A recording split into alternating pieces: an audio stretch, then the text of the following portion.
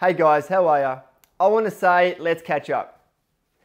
Seriously, let's catch up. I mean, how do you really know your photographer if you don't meet them on a video chat or face to face? How can you go through prices and packages without even knowing who the photographer is? You know, you spend more time with myself or your photographer than any other person on the whole wedding day.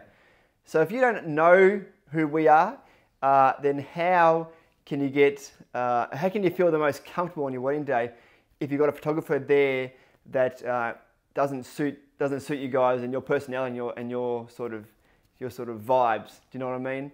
Um, it's quite tough. You could choose a photographer that is thousand dollars cheaper than someone else, but if they don't fit, you know, your family and all your friends and don't fit in, then you know what? Um, to me, that thousand dollars was a waste of money because you, you, are not going to feel like they're part of the day.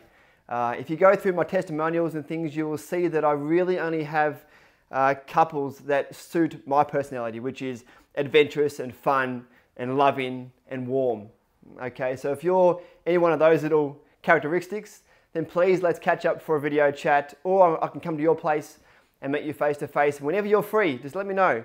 So in the email, reply write back and say, hey Luke, I want to catch up with you Tuesday night at my place and I will definitely be there for you guys, all right? Do that. Send me through an email. We'll be in touch very soon. Thank you so much for your time. Take care, guys. See ya.